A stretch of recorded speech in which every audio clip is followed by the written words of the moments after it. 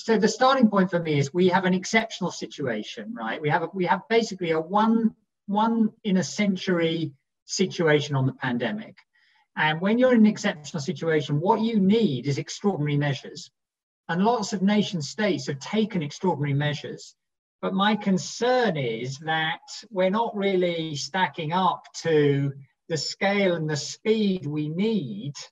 It's, it's a little bit too much business as usual when it comes to international cooperation. So we really need exponentially to increase the level of effort on, on um, collaboration.